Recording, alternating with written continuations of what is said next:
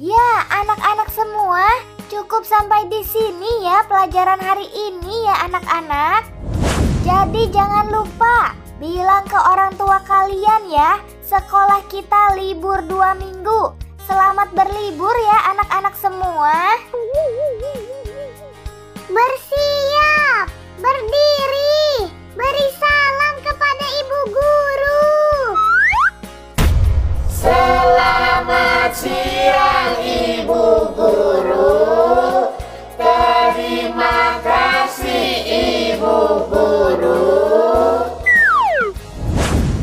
Iya, iya, selamat siang juga ya anak-anak. Langsung pada pulang ke rumah ya anak-anak semua.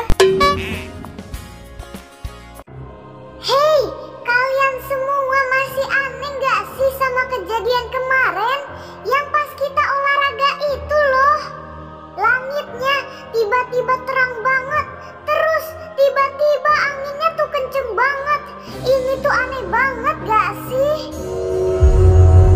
Iya, aku juga bingung. Kejadian itu cuma lima menit doang. Aku kira udah mau kiamat tau nggak? Aku sampai takut banget, Valir. Kalian tahu nggak? Itu terjadi pas Elia masuk ke sekolah ini. Aku lihat pas Elia teriak, tiba-tiba langitnya langsung berubah. Menurut kalian, ini semua ada hubungannya nggak sama murid baru itu, Ivan? Aduh, kayaknya mereka berempat lagi pada ngomongin aku deh. Aku dengar ada nama aku disebut-sebut sama mereka.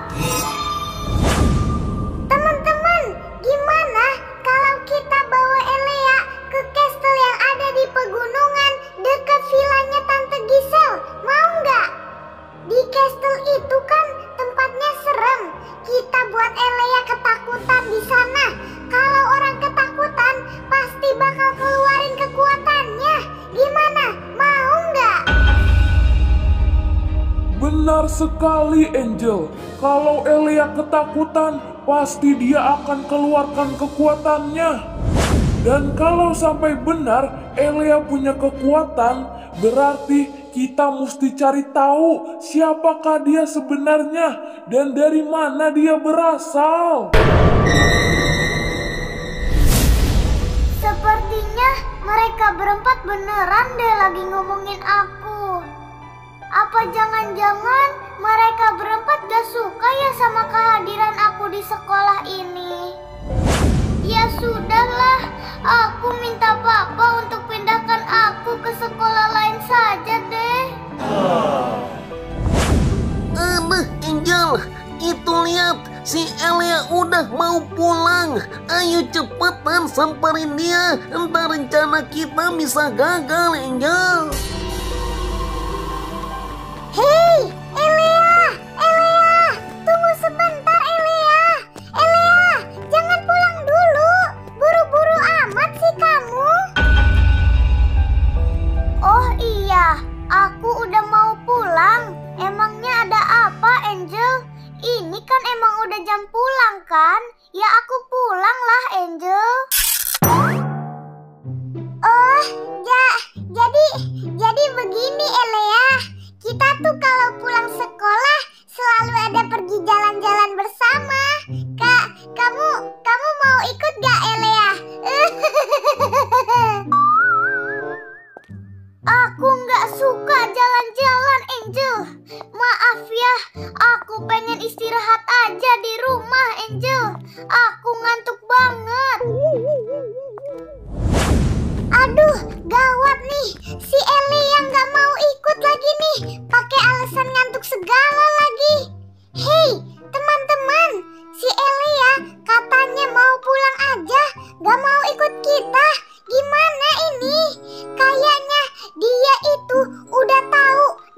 curiga sama kita. Ama, ya udah, aku aja nih yang samperin Elia. Hei, Elia, sini Elia jangan pulang dulu, buru-buru amat sih besok kan libur Elia, jangan kayak begitu. Aduh, ini ada apaan sih Ivan? Tadi si Angel yang ngajak, sekarang kamu yang ngajak. Kan aku udah bilang, aku nggak mau ikut, Ivan. Hei, Elea. Tunggu sebentar, jangan pulang dulu. Kita semua di sini pengen banget jadi sahabat kamu, Elea. Makanya kami mau ajak kamu jalan-jalan. Kalau kamu nggak mau ikut, itu artinya kamu sudah menolak menjadi sahabat kami, Elea. Jangan takut, kami di sini tuh nggak jahat, Elea. Wah, si Citra ngomongnya pinter amat. Angel aja nggak kepikiran buat ngomong kayak begitu. Kalau kayak begini mah, si Elia udah si Elia udah pasti ikut. Udah nggak bakal nolak lagi nih.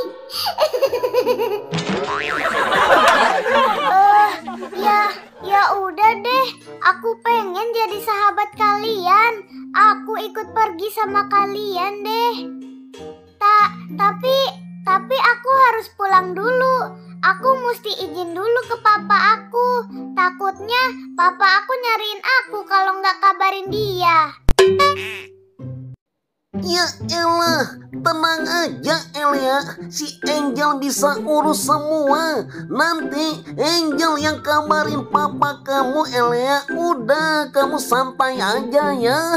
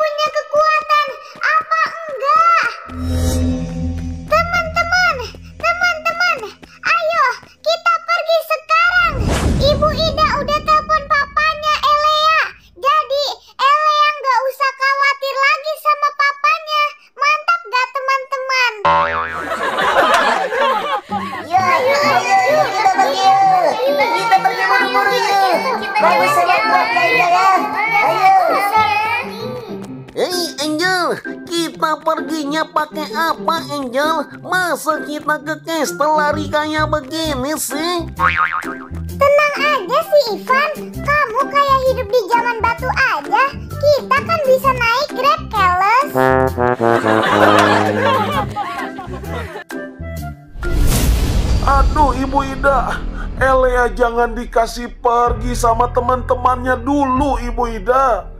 Masalahnya, semenjak Elea tinggal bersama kami, banyak sekali keanehan terjadi di dalam rumah kami Ibu Ida.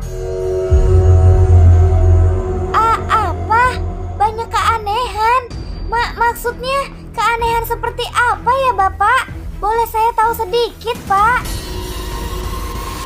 Jadi begini Ibu Ida, Ibu Ida kan sudah tahu kalau Elea itu bukanlah anak kandung kami dan kami pun baru satu bulan tinggal bersama dengan Elea. Pada malam itu hujan sangat deras sekali Ibu Ida. Aku dan istriku sudah tertidur sangat pulas sekali Ibu Ida. Dan kami tiba-tiba mendengar ada suara orang menjerit kesakitan dan suara itu jelas sekali di telinga kami Ibu Ida.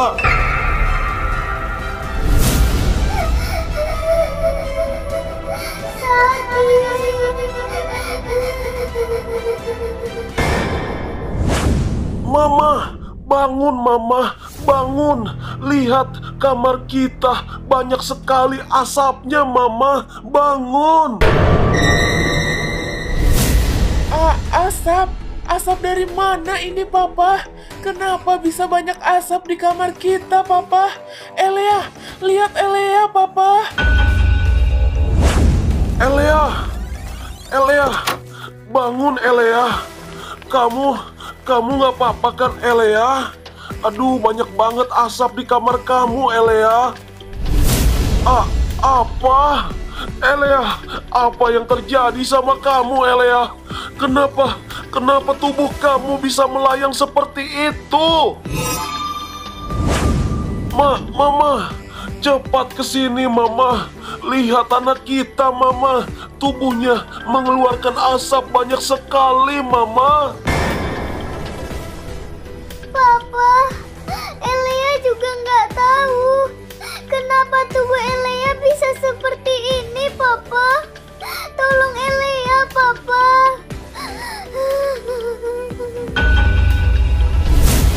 Dan ketika tanganku menyentuh cahaya itu, kemudian tiba-tiba aku menghilang seperti tersedot dalam cahaya itu.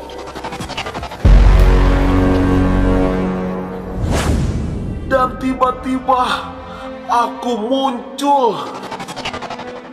Aku tidak tahu ini ada di mana. Dan aku melihat banyak malaikat di depanku. Aku tidak tahu apa yang terjadi dengan diriku. Sangat mengerikan sekali. Tiba-tiba saja, salah satu malaikat itu memegang kepalaku, Ibu Ida.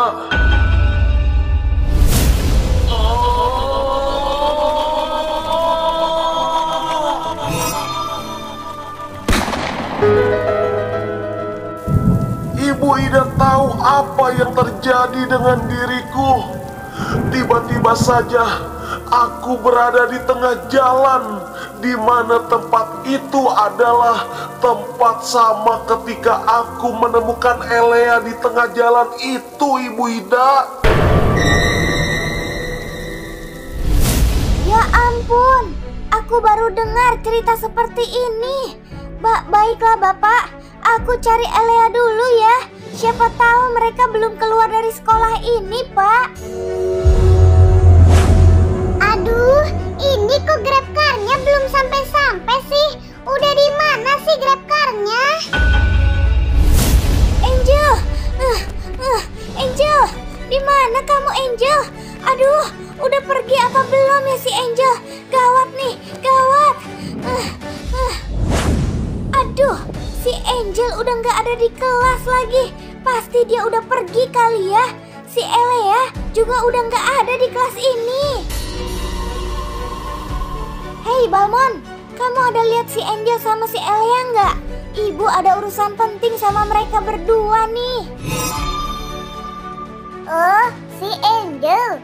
Si Angel mah kayaknya tadi ada di depan sekolah deh. Mereka kayaknya berlima Ibu Ida.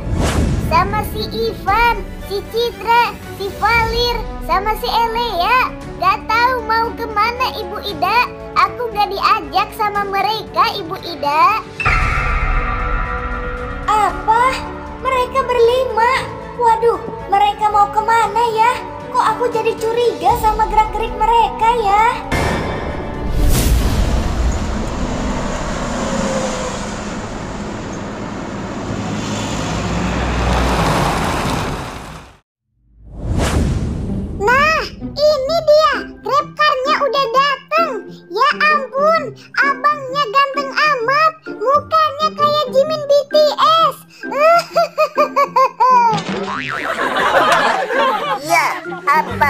Atas nama Vivi, perjalanannya menuju Castle. Ada yang namanya Vivi di sini. Yuk, langsung kita berangkat ke sana sekarang.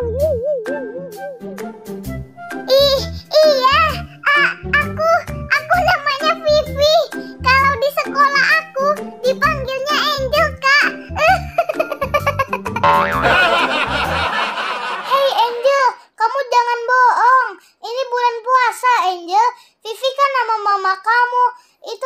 Grabnya, akun mama kamu kan Angel?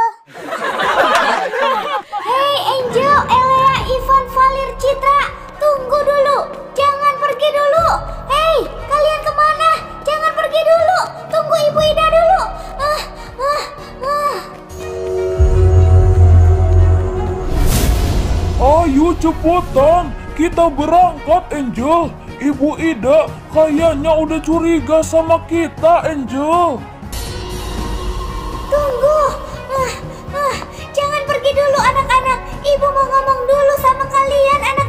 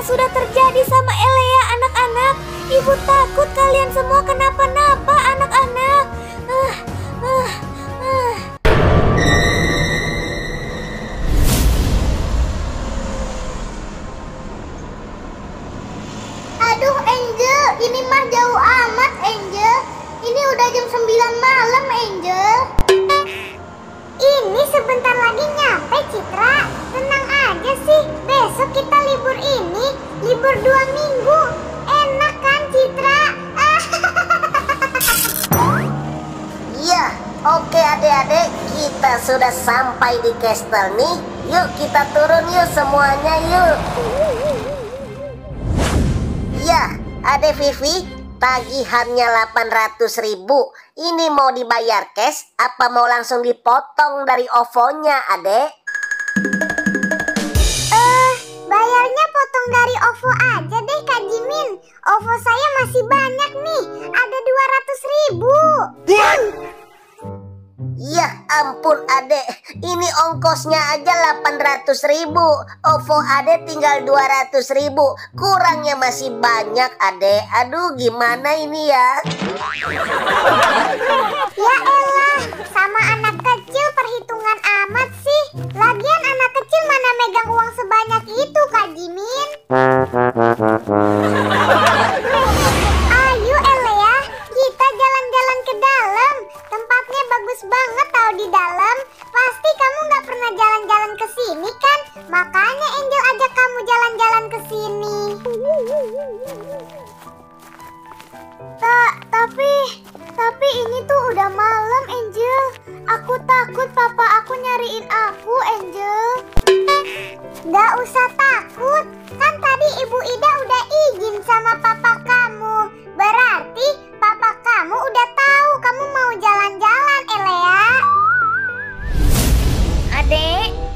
Mau bermalam di sini ya? Mau bermalam berapa hari adek-adek? Kita mah nggak mau bermalam, Mbak. Paling cuman main-main doang sebentar. Kalau cuman main-main mah nggak bayar kan, Mbak? Oh, jadi kalian cuma mau main-main doang ya? Ya, ya udah deh. Tapi inget ya, jangan lama-lama jam 10 malam sudah tidak terima tamu lagi, adek. Nanti gerbangnya ditutup. Nah, Elea, castle ini tuh serem banget, Elea. Jadi tuh, waktu dulu banyak mayat-mayat yang dikubur di bawah bangunan castle ini. Kalau udah malam, sering ada suara minta tolong gitu. Tolong, tolong. Serem deh pokoknya.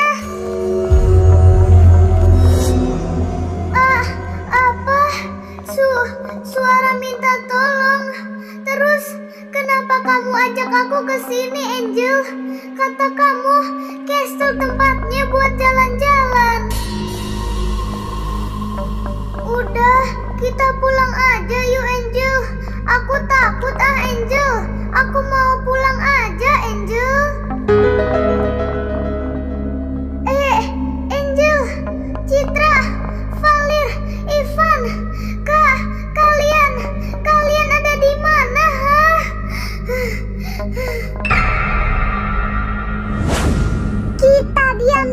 Di sini ya.